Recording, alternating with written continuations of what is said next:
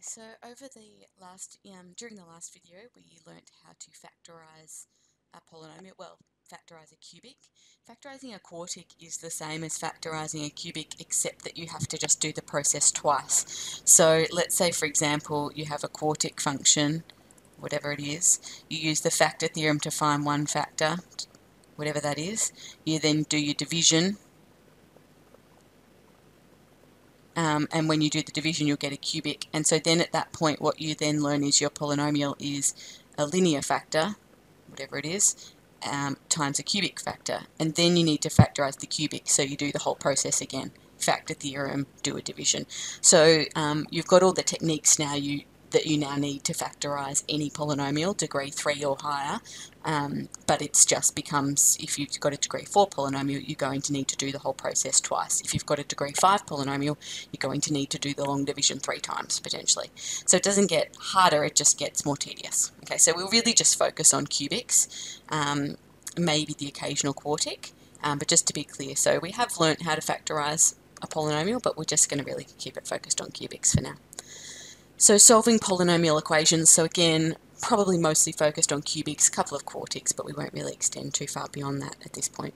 So um, a quadratic equation is a polynomial equation, and many of the techniques that we use for solving quadratics can be extended to polynomials. So remember our first step when we're trying to solve a, a quadratic equation um, is that if we have only one instance of the unknown, we can solve it by rearrangement. So we don't want to expand out any brackets if we can instead get x on its own by doing the same thing to both sides of the equation. Okay, so if we can solve by rearrangement, we want to do that. Then, when we're solving quadratics, if we can't solve it by rearrangement, um, we then try to use the null factor law. So we make one side zero, we factorize the other side, and we use the null factor law to solve. Okay, so the null factor law extends out to, so we've seen the null factor law in the context of quadratics. We know that if x minus a times x minus b is equal to 0, that means that x minus a is equal to 0 or x minus b is equal to 0, which gives us x equals a or x equals b. That would extend out too if we had a third bracket. The only way three things multiply together is if at least one of those three things is equal to 0. Okay, so, sorry, x equals c. So um, as long as we can factorize whether there's one, two, three, four, ten brackets, then we can use the null factor law to solve. Okay. Um, Alright, so we want to, if we can solve by rearrangement, we will. If not, we'll um, factorize and use the null factor law. Now, when we work with quadratics, we then, if we can't factorize, we then also have the tools of completing the square and the quadratic formula available to us. Um, but these, those techniques don't extend to higher degree polynomials. So for now, um, when we're being asked to solve cubics or above, they will either be able to, they will be able to be solved with either of these methods. There are going to be cubics that can't be solved with these methods, um, but we're not going to go to that point. Okay, solve each of the following equations for x. Okay, so if we can solve by rearranging, we will. Um, we can't here, there's more than one instance of x. If we were to expand all this out, there would be more than one term involving x that aren't like terms. We then want to think about using the null factor law. The null factor law requires that we make one side equal to 0, which is already done, and that we factorise the other side, which is already done. So this is nice and easy. We're immediately in a position to use the null factor law. If these three brackets multiply together to give 0, it must mean that either this bracket equals 0, or this bracket equals 0, or this bracket equals 0. And from that, we can see that x equals 3 is a, is a solution, 2x equals negative 1, so x equals negative 1 half is a solution, or x equals negative 8 is a solution. So three possible solutions to the equation. Okay, question 2, again, can't solve it by rearrangement, so we want to try and use the null factor law. We've already got the null aspect of the null factor law, and we've already got the factor aspect. The left-hand side is already factorized. So again, immediately, this means that either x has to equal 0, or x squared minus 5 has to equal 0, which would mean x squared equals 5, which would mean x equals a positive or negative square root of 5. So we've got three solutions, 0, positive root 5, negative root 5. Okay, question 3. Now question 3 we've just got one x in the equation, so we should be able to do the same thing to both sides until we get x on its own. We can solve it by rearranging.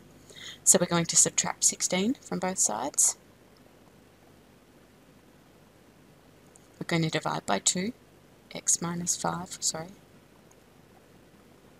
equals negative 8.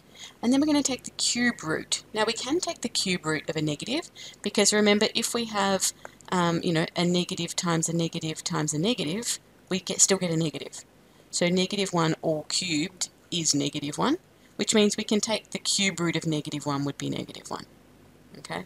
Similarly, negative 2 all cubed is negative 8, which means that the cube root of negative 8 is negative 2, which is exactly what we're going to need here. So you won't get a plus minus when you're taking the cube root. If you're cube rooting a negative value, it will be a negative answer. If you're cube rooting a positive value, it will be a positive answer. It won't be, you won't be both positive and negative, won't be solutions when you're cubing and cube rooting. Okay, so x minus 5 is the cube root of negative 8, which is negative 2.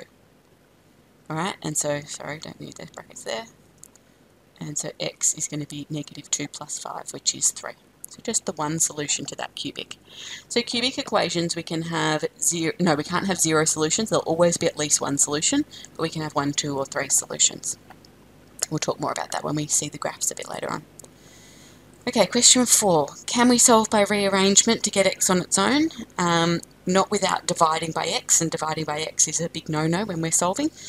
So um, we're going to focus on null factor law, so let's make one side 0.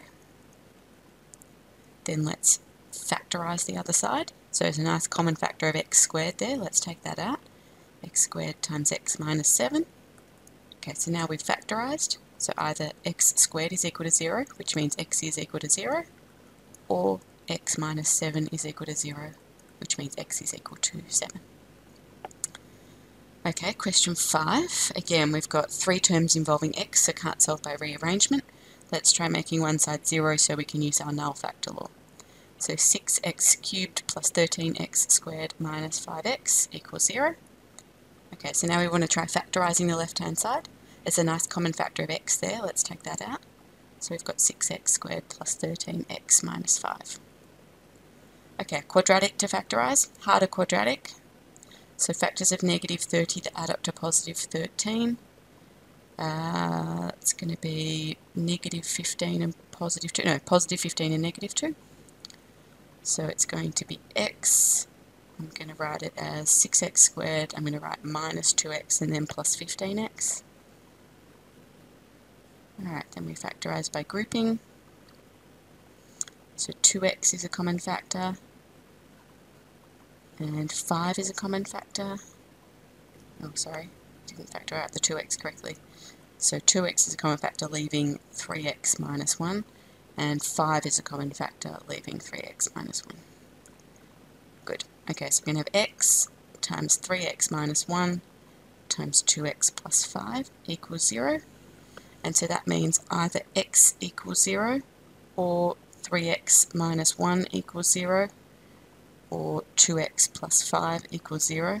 Okay, so that means we're going to have x equals 0, it'll be 3x equals 1, so x equals 1 third, and the other one will be 2x equals negative 5, so x equals negative 5 on 2. So there's your three solutions. Sorry, just finishing that off up there. Okay, uh, final example, I think, question 6, yeah. So um, can't solve by rearrangement because we've got three different x terms that aren't like terms. So more than one x in the equation. We then want to try and use the null factor law. So make one side 0, we want to factorise the other side. No common factors in the left-hand side, and so we're factorising a cubic. We're going to need to use our lengthy process. There's no shortcutting it, okay? You just have to be able to do it. Alright, so we want to first of all try and identify one factor. So I'm going to try p of 1 is 1 plus 5 minus 1 minus 5. Good, that's 0. So that means x minus 1 is a factor.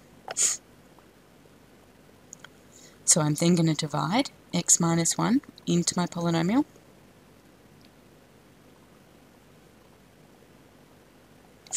Okay, fact, uh, what do we multiply x by to get x cubed? x squared. Multiplying that, x squared minus, sorry, x cubed minus x squared. Subtracting, so 5x squared minus minus x squared is 6x squared take away x. What do we multiply x by to get 6x squared? Plus 6x. Multiply 6x squared minus 6x and subtract. negative x minus minus 6x is negative x plus 6x, so 5x. And then we bring down our final term. What do we multiply x by to get 5x? That's plus 5. Multiplying 5 by x minus 1, good, we get a remainder of 0, which is what we expected. Okay, so now what we know is that p of x is equal to x minus 1 times x squared plus 6x plus 5. Okay, and remember we're solving p of x equals 0, so solving that equal to 0. So we've got x minus 1, we factorise this, factors of positive 5 that add up to positive 6, that's x plus 2, sorry, x plus 5, x plus 1. Okay, and now we're solving that equal to 0, which means we can use our null factor law now that we've factorised. So x minus 1 equals 0, so x equals 1 x plus 5 equals 0, so x equals negative 5, and x plus 1 equals 0, so x equals negative 1.